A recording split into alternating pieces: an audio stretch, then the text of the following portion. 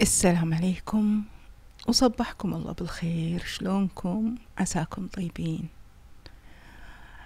من باب إن لما أقول لكم إذا حسيتوا بشعور آه، فجأة كذي طرى على بالكم إنسان عزيز. وما في أعز عندي.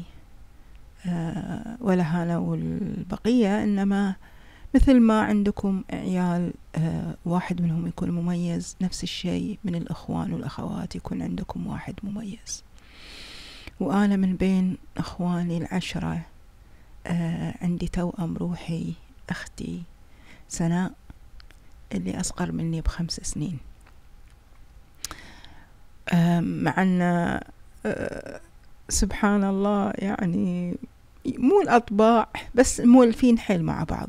يعني أطباعنا مو matching مع بعض إنما آه انعجنا مع بعض آه تربيتنا في بيت واحد آه التصاقي فيها والتصاقها فيني كوني أنا سكت قبلها فطلعاتها كلها معاي تاريخنا واحد أسراري عندها هي أكثر إنسانة في هالدنيا كاتمة أسرار.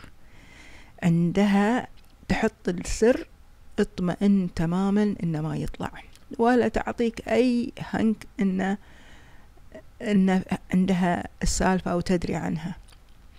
فهي فعلا كاتمة أسراري وهي حبيبتي وهي صديقتي هي أختي.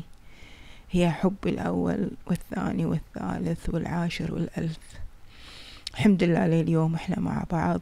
الحمد لله زاد الحب ما نقص بالعكس الحب اليوم في نضج أكثر في فهم أكثر في أخذ الأعذار لبعض. آه هي سندي آه المعنوي والعاطفي حتى المالي. في أحيان كثيرة يعني تسندني ماليا.